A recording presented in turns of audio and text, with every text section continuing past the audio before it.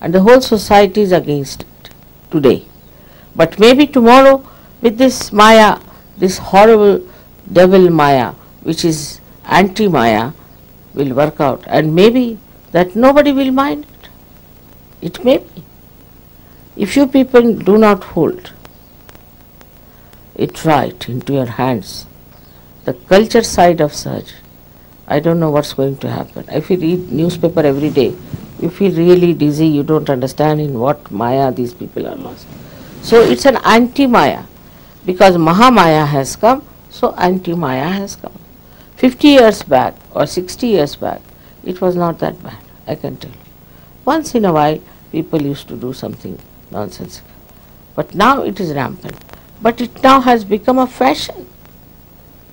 It's worse than that is that accepted as a fashion. And if you are not in it, you are out. You have to be in the madhouse. You should see this clearly because now you have come into the Maya of God. Maya also means loves. Love.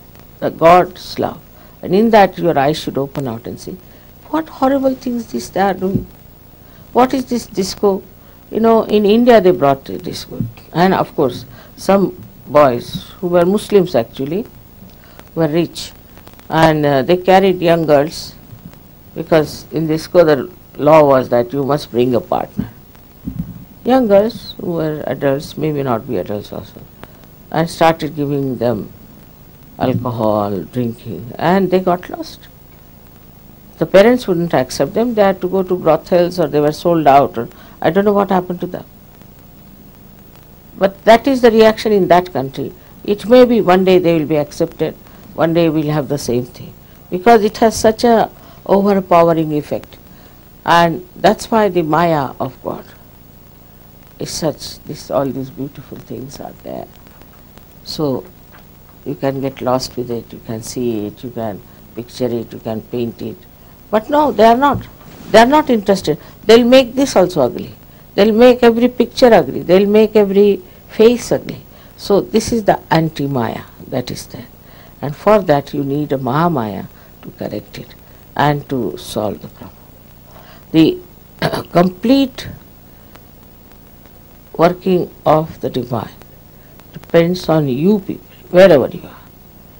How many you are is not the point. Wherever you are, how intense you are, how you want to work it out, how you want to put uh, uh, your attention to. It's very important how you are going to do it because you people should understand the responsibility. This world is getting drowned and I feel that at least 80% people will be finished. 10 would be hanging in between in limbo, I think. Really. And 10% will be Sahaja Yogis the way it is moving in the West. Maybe in India may not be, I can't say. India is very fast moving Sahaja Also Russia and all these Eastern Bloc people are just jumping into it. I don't know how they have discovered me so easily. They say my face is evident, I don't know what makes them think.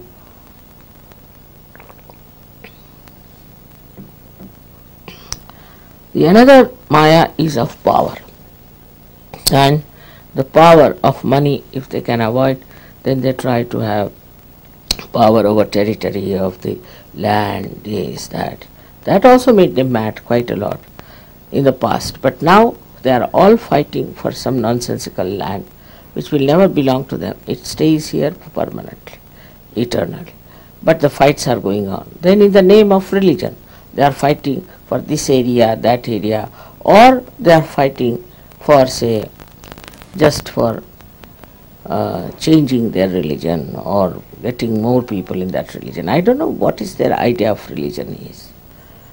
Is religion meant for that? Just think of it. Nobody thinks like that. What is it meant for? So, here again the Mahamaya has to work. And the Mahamaya works this way that she integrates all the religions.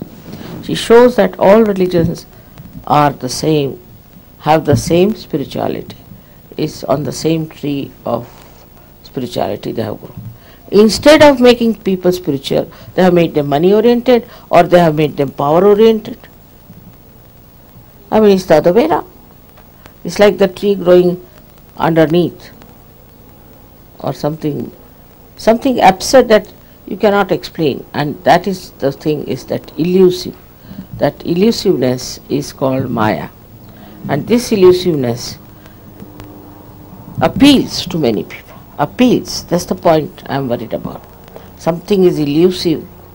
Then they go on running after that like a mirage. And ultimately they are destroyed. So what you see a picture just now is that at least so many 10% people will be saved at the most. But it's a very sad affair because it has taken so much effort to make human beings, to make them all right, to make them sensible. And now what you find is that they are going to be all finished. It's too much to bear, too much to believe in, but it is going to happen if you people do not take it up seriously and work it out.